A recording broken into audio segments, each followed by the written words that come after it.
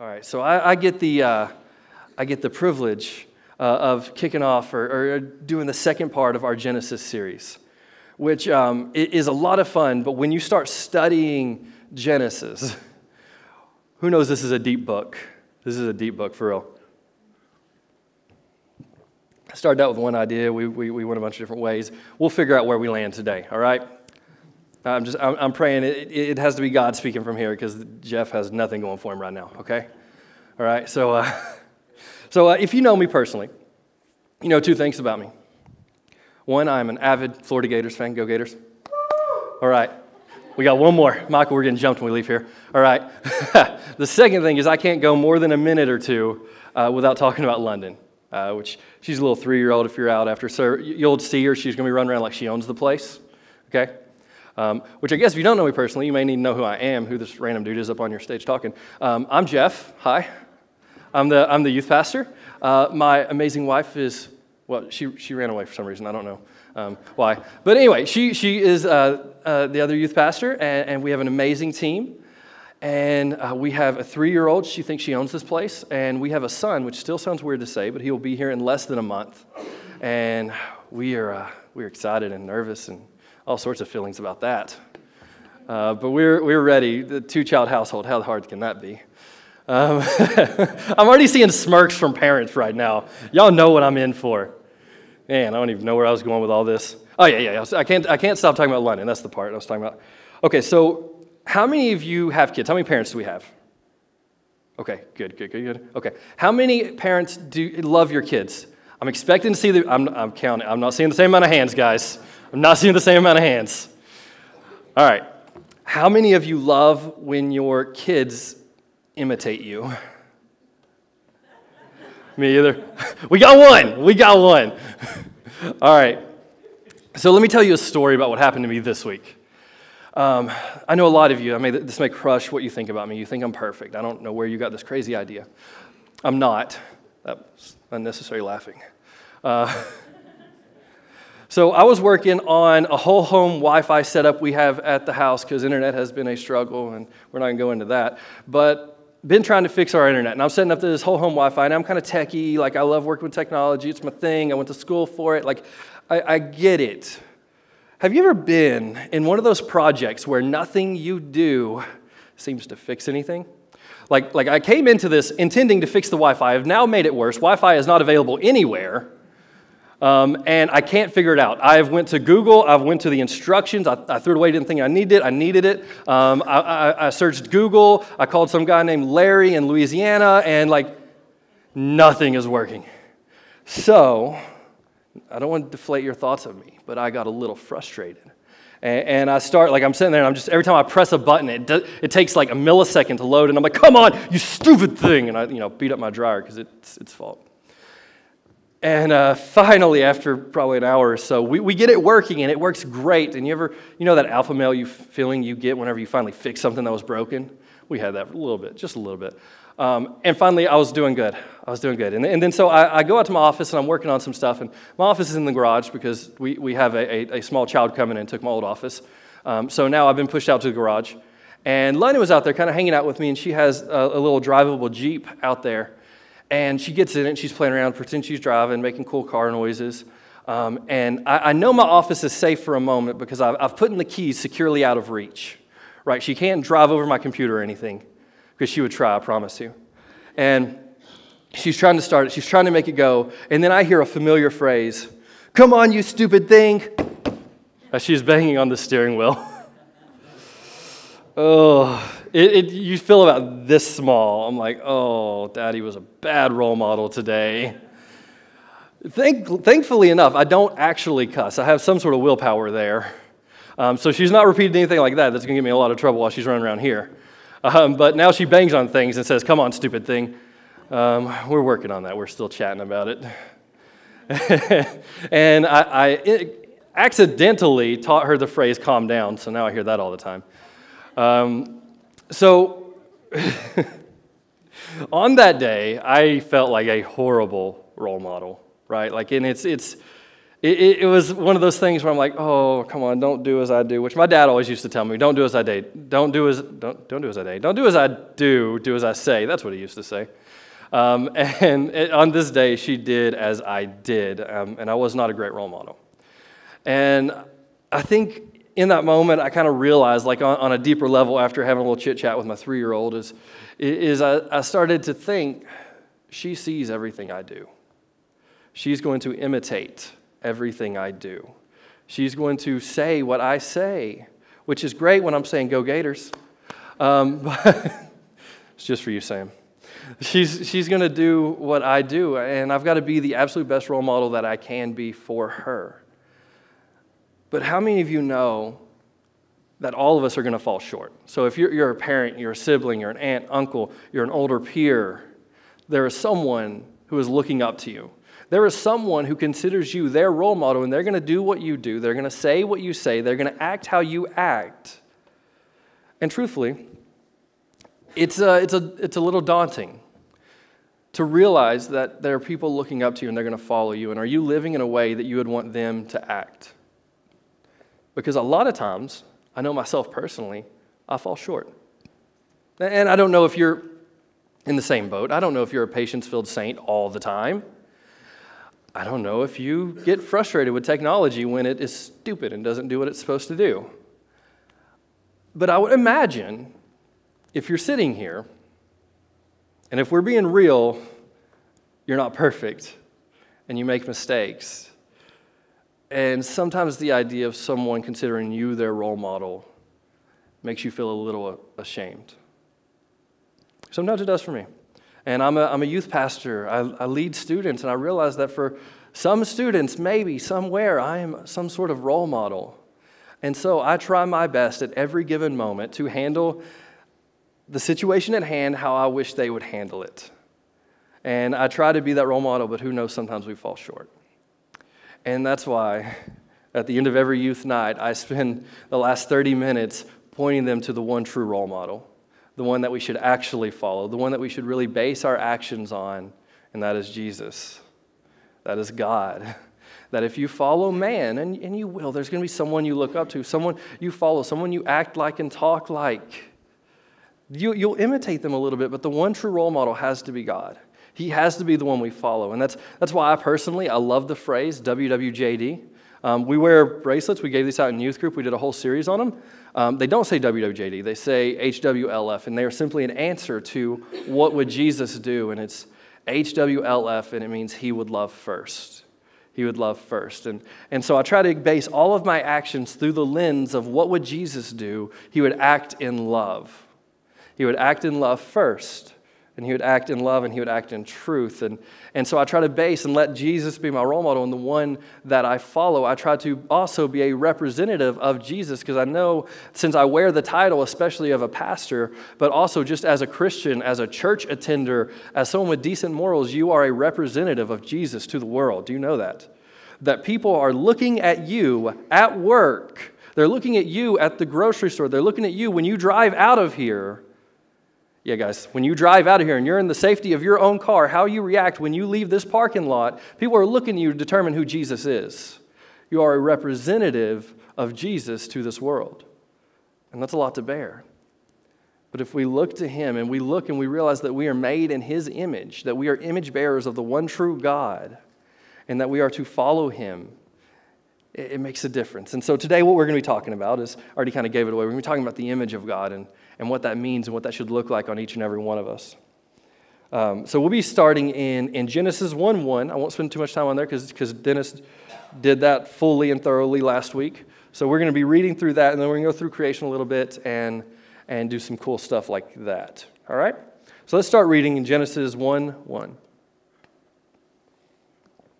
In the beginning, God created the heavens and the earth.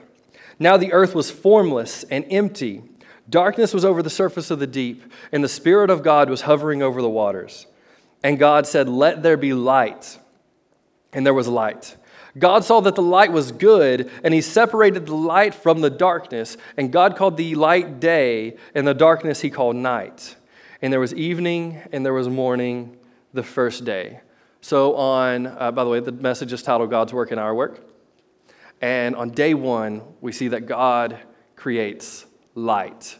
The very first thing, he shows up and he says, Let there be light. On day two, God creates the sky. Day three, God separates land from sea and creates every seed bearing plant and tree. Day four is interesting because God creates the sun, moon, and stars. God had already created light on day one. How is the sun, moon, and stars just coming around on day four? We'll come back to that. We'll come back to that. Day five, God creates the sea creatures and the birds of the sky. Day six, this was a big one. God creates the livestock, all the wild animals, and man in his own image. And on day seven, God rested. That is um, the, the timeline of creation. Uh, but one thing that I, that I found interesting through this study through is, is that a lot of times what God would do is he would do something and then he would tell creation to follow his lead, that he would tell creation to follow him, basically use him as a role model for what it should do. For example, on day one, God created light. We, we can, many scholars believe that God himself was the light on day one, that he produced the light. And then on day four, he created the sun, moon, and stars to be the light.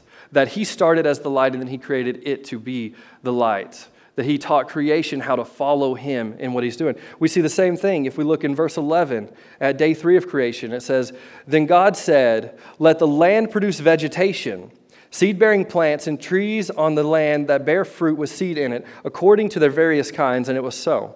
The land produced vegetation, plants bearing seed according to their kinds, and trees bearing fruit with seed in it, in it according to their kinds, and God saw that it was good. You see, God spoke, and vegetation sprouted, and it, and it came forth. And, and then he instructed it to follow his lead and to produce more vegetation and, and, and produce more um, fruit and, and to keep producing, to, to follow God's lead. You see, uh, for creation to work correctly, it must follow the ways of its creator. To work correctly, creation must follow the ways of its creator. We see this all through Scripture. When Adam and Eve were following the ways of the Creator, everything was in perfect harmony. Everything was perfect. It wasn't until they rebelled away from the ways of God and they, they fell away from their Creator that literally everything fell through. It, it was then that mistakes happen. Whenever creation follows the ways of its Creator, all things exist in perfect harmony. And I don't think this is uh, the, the way we see with the, with the light and with the vegetation. We see the same thing with mankind on day six. So let's start reading in verse 26. Then God said, Let us make mankind in our image, in our likeness, so they may rule over the fish in the sea, and the birds in the sky, over the livestock and all the wild animal, animals, and over all the creatures that move along the ground. So God created mankind in his own image. In the image of God, he created them. Male and female, he created them. God blessed them and said to them, be fruitful and increase in number. Fill the earth and subdue it. Rule over the fish in the sea and the birds in the sky, and over every living creature that moves on the ground. Then God said, I give you every seed bearing plant on the face of the whole earth, and every tree that has fruit with seed in it. They will be yours for food, and to all the beasts of the earth, and all the birds in the sky, and all the creatures that move along the ground, everything that has the breath of life in it, I give every green plant for food. And it was so. God saw all that these had, uh, saw all that he had made, and it was very good.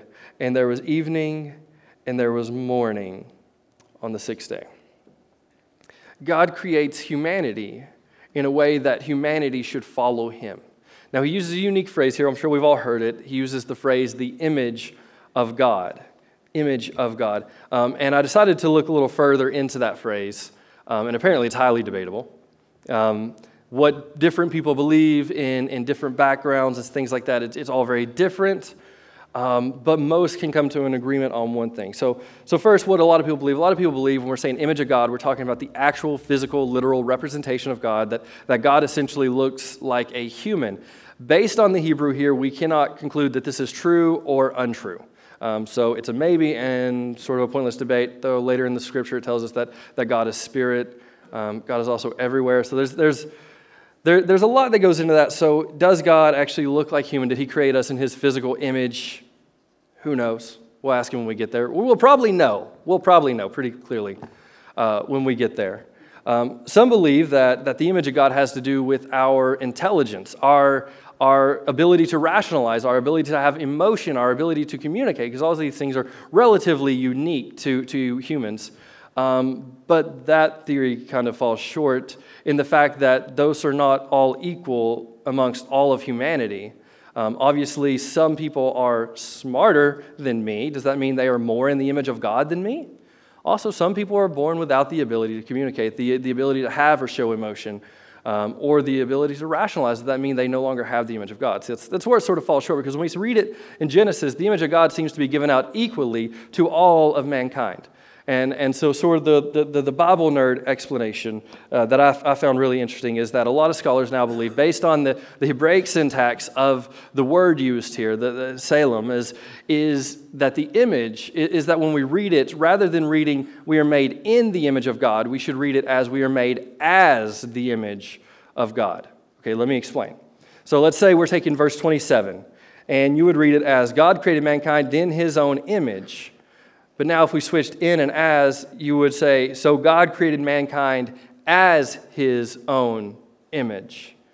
So notice, it's not that the image of God is a quality that is tossed onto mankind. It's not, oh, look, you're a human. Here, have the image of God. It's that you are that is what you are. You are the image of God. You are the representative of God on earth. That you were created with the purpose to be a representative of God to creation. And we see that how God gives man dominion over creation, that he gives him the, the plants and he gives him the animal and he gives him the authority to rule, which is a little bit translated differently how we think. We think of kings that rule and, and go out like that. Really, it was more a, a call to cultivate, to create a, a call to, to replenish and, and, and make the world fruitful. So we are called not, it doesn't always mean that we're necessarily in the physical image of God, and maybe we are, I don't know. But it is that we are created to be a representative of God on earth. So, you and I, humanity, are created for a reason, for a purpose, that each and every one of us has a calling. Now, we can read in Genesis 2, God gets more specific in, in what his calling is for Adam. Um, so, in Genesis 2, verse 7, it says, Then the Lord God created a man from the dust of the ground and breathed into his nostrils the breath of life, and the man became a living being. Now the Lord God had planted in a, gar- a, garden in the east, in Eden, and there he put the man he had formed. Now, if we jump down to 15, we see what happens. He says, The Lord God took the man and put him in the Garden of Eden to work it and take care of it. That, that Adam was essentially put into the world, put into Eden, so that he may work it and take care of it. You and I, made in the image of God, we are created to work and to take care of the creation God has made. We are created and we are unique in, in multiple ways, but one is that we are created in the image of God and, and we can have relationship with God, that we can have communion with God, and that He has given us the authority to take care of His creation. So, I guess the question we get into now is okay, why does that matter? Why does any of this matter to me today in 2020? Um, I got to like go out and, and face the world. We ain't growing anything. We're not cultivating. We're certainly not ruling. What does that mean to me today? And I think we have to fast forward to the New Testament. You see, God in creation, when He created mankind, He created him in His image in the Imago Dei, that He created him to rule, that He created him to be a representative of God here on earth, that we are to take care of it um, the way that God would take care of it, and we are to take care of creation. You see, Adam and his family were given the duty to be a representative of God to creation, and you and I, as children of God, as followers of Jesus, we are called to be a representative of Jesus to humanity. We are called to represent Jesus. You see, in the beginning, God gave a command to Adam take care of what I have created, be fruitful, and multiply. About 2,000 years ago, Jesus gave a command take care of what I died for, bear fruit, and multiply. You see, we still have a call on our life. We still have a purpose. We still have a reason that if you are a follower of God, if you are a follower of Jesus, you have a reason, a purpose. You have, God has a plan for your life. That He wants you to go out. You see, I believe there was a great commission in Genesis, and it was to rule over the beasts and, and, and the fish and take care of the garden and replenish the earth. We also have a great commission in the gospel it's to go and make disciples of all nations. To, to baptize them in the name of the Father, the Son, the Holy Spirit, teach them about repentance, teach them about the one true God who came and died for them. We have the Great Commission, and that is our job today. But, Christians, are we doing that? Because I, I don't know, I looked up some statistics and I, and I thought it was kind of interesting. There are 2.3 billion Christians worldwide, 2.3 followers of Jesus worldwide. That's a phenomenal number. That's amazing, really. It was actually higher than I, than I thought. But the problem comes in, at least as of last night, I found a live tracker that is counting the births and deaths, so you have know exactly the population. It changes by the second, um, millisecond probably. 7.7 billion people worldwide. So I, I, I, you know, put my math skills to work, and I came up with 5.4 billion non-Christians. 5.4 billion non Christians. And if you are a follower of Jesus, if you believe the scripture, then we have to believe that that means there are 5.4 billion people that aren't going to make it to heaven unless the hands and feet of Jesus go out and reach out to them and share with them the gospel and show them the love of Jesus. And we go and we accomplish the Great Commission. Unless that happens, hell is going to be full. And that is daunting. The number is daunting. It is. But did you know 5.4 billion starts with one? It starts with one. And we see all throughout, because the interesting thing, there's 2.3 billion Christians. And so we either believe that that started with 12 lunatics that weren't afraid to die and they just wanted to lie for the fun of it, even through excruciating death and torture, they held their lie. Or it started with the one true God. And he gave us the calling to go out and reach the nations. But we've grown to 2.3 billion people. And I can't help but imagine what would happen if 2.3 billion people tomorrow just got turned on fire for Jesus that if they went out and they truly wanted to reach their towns, reach their communities, reach their family, reach their friends, if they went out and they truly loved Jesus and they loved the world and they wanted to save the people around them, what would happen if 2.3 billion people took the mission of God to the people who don't know God and they showed the love and, and showed people the value that Jesus has in them? What if he, they went out and, and just had the passion to tell the people around them about who Jesus is, I believe that we could see peace on earth. I believe we could see the world reached in a single day because we're not talking about addition, we're talking about multiplication. Because when you get someone on fire for Jesus, they're going to tell someone else, and they're going to tell someone else, and they're going to tell someone else. And it keeps going. It's like a big, it's like the snowball from Dave Ramsey, shameless plug that it keeps on rolling, rolling, rolling, and it gets bigger and bigger and bigger, and you have a movement. But listen, guys, a wave starts with one. It starts with one. Be the one that gets the wave going. So, Christians, why are we not doing it? Why are we? I'm including myself in that. Why are we? I'm not at, the wall, at Walmart every time I see a cashier asking her if she knows Jesus, where she's going when she dies. Don't do that. That's weird. Okay? I, am a Christian. I've been a, I was a pastor for like four or five years. And someone approached me at the fair and asked me a question. I'm like, oh no. Like, I, you don't catch someone off guard with that. You show love, guys. You show up and you love on people. And, and, you care and you be the face, the feet, and the hands of Jesus. That you reach people and you reach out and you help and you bless. And then you share the one who saved you.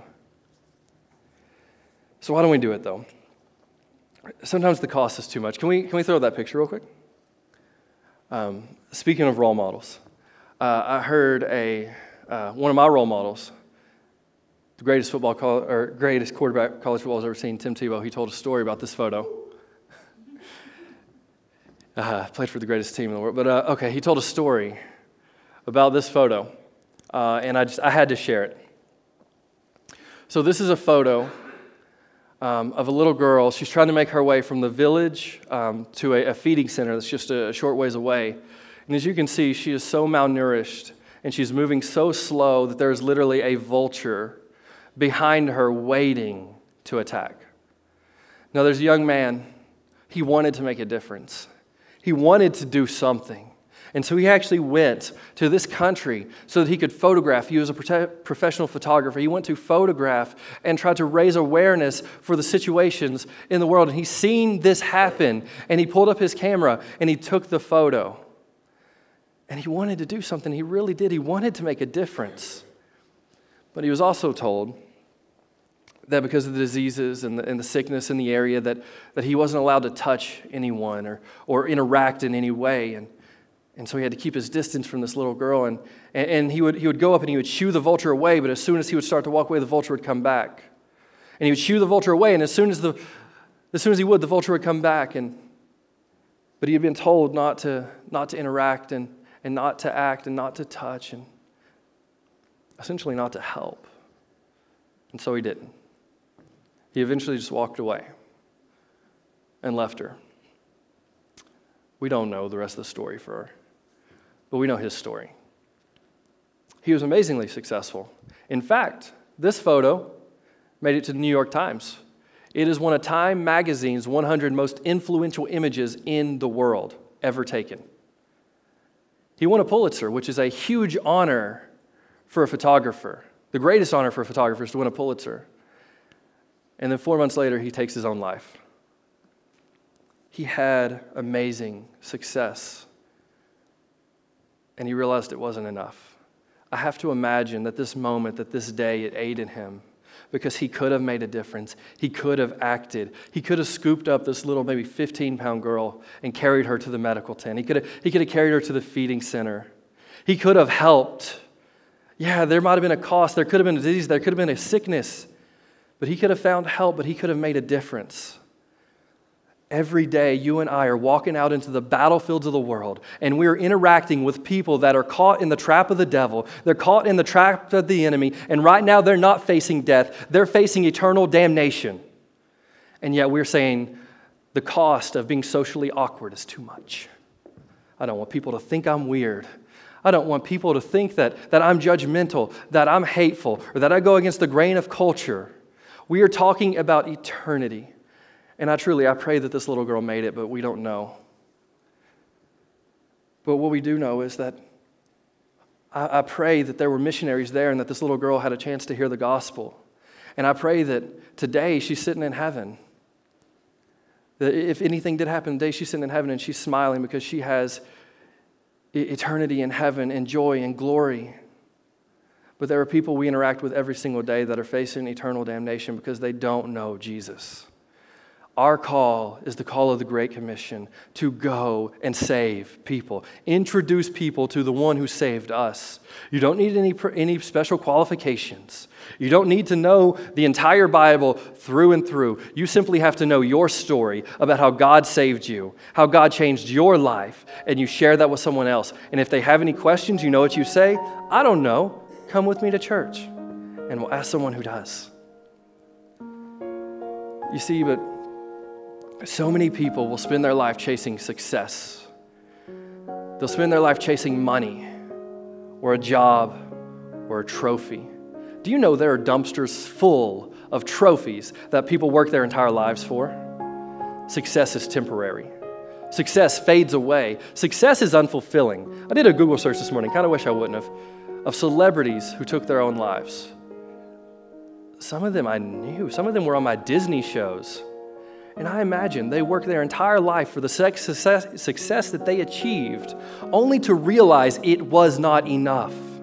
Only to realize the success they thought they wanted, the success they dreamed about, the success they worked their entire lives for was unfulfilling and it made no difference in their life. Yes, they had money and they can do whatever they want, but it was not enough. You see, because the problem is, is success is about you. No matter what your success is, it's about you.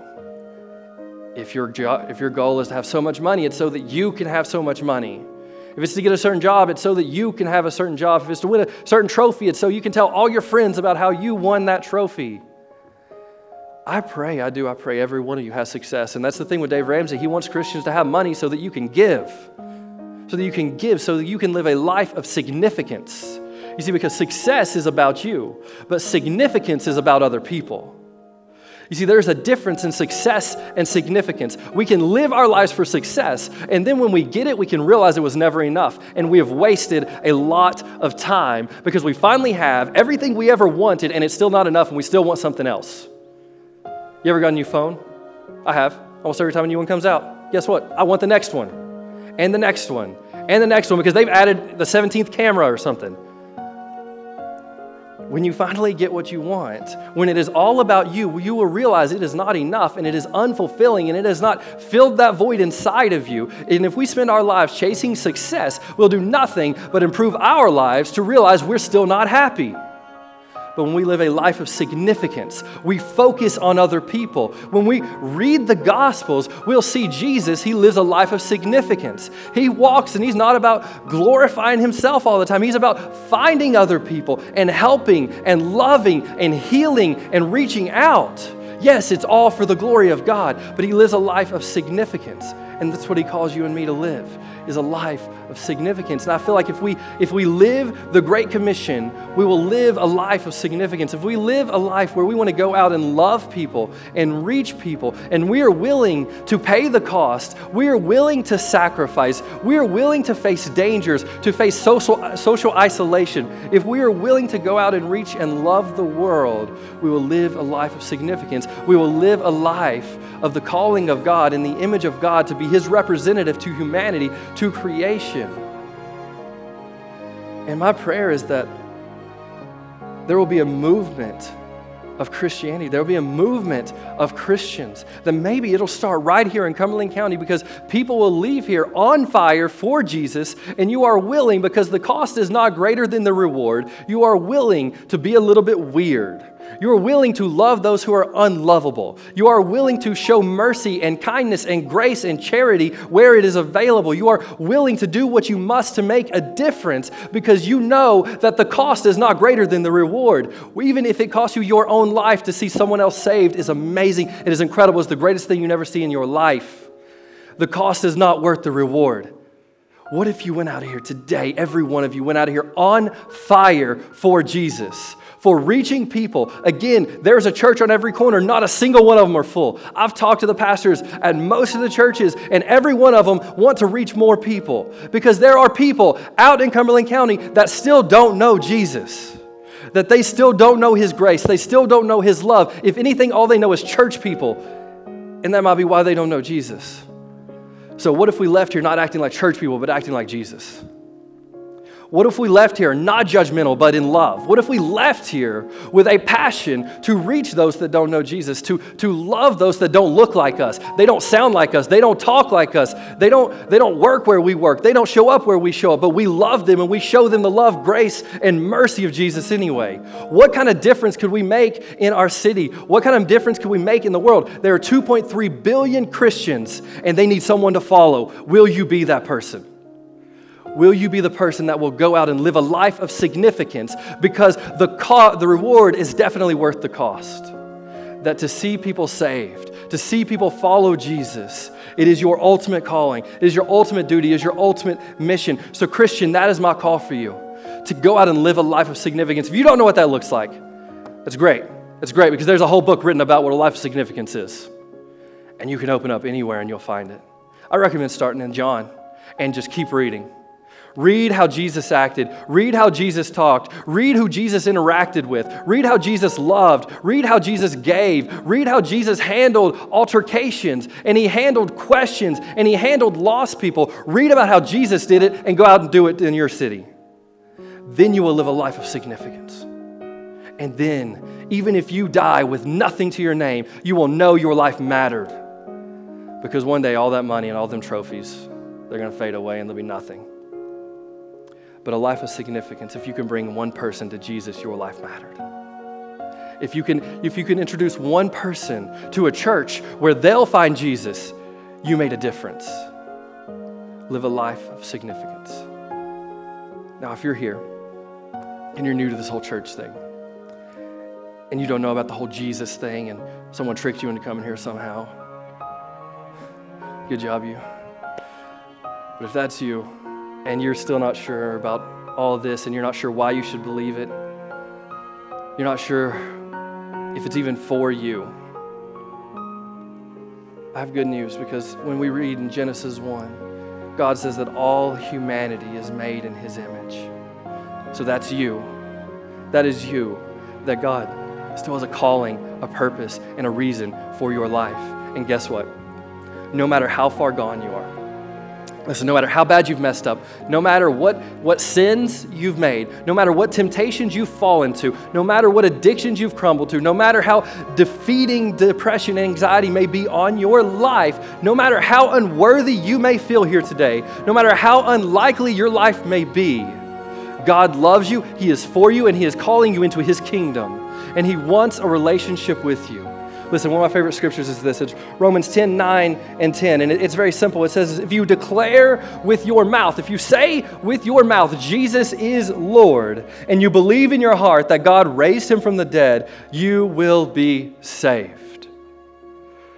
For it is with your heart that you believe and are justified, and it is with your mouth that you profess your faith and are saved if you would say with your mouth, Jesus is Lord, and you believe in your heart that God raised him from the dead, you will be saved. You notice there's no other requirements.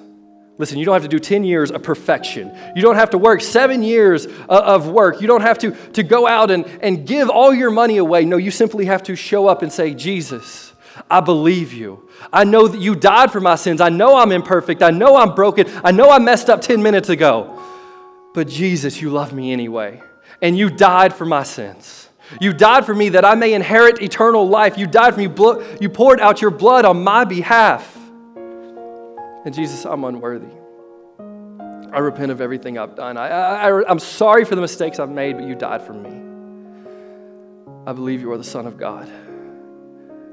You are my Lord and you are my Savior. If you profess with your mouth and believe in your heart, you will be saved no other requirements. What happened yesterday doesn't matter. What happened 10 minutes ago does not matter. The life you've lived up to this single moment does not matter.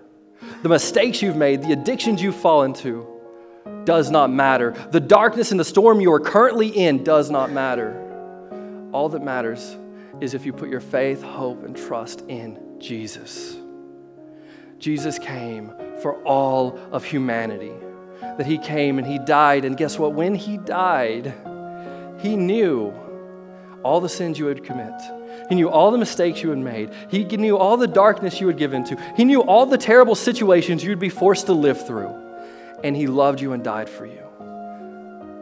Because he loves you and he wants a relationship with you. And he doesn't want you to be one of the 5.4 billion that don't make it home to him.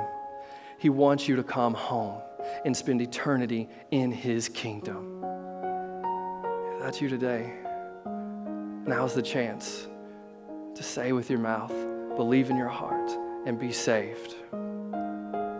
If that's you, I want to give you that opportunity. If everyone just bow your heads just a moment. We are just we're, we're listing Romans 10 9 here. If you would like to be saved, if you've never entered into a relationship with Jesus and you think today is the day that you want to make the change and you want to experience the glory He offers, if you want to experience the life He has for you, and you want to give Him all, if you're going to surrender all today, I want to give you that opportunity. All you have to do is say with your mouth that He is your Lord and Savior, and believe in your heart that He died for you and God raised Him from the dead. On the count of three, I'm going to give you that opportunity, and I just want you to raise your hand. You can put it right back down, and then we'll just we'll share a prayer together. If that's you and you want to make that decision today, raise your hand in one, two, three.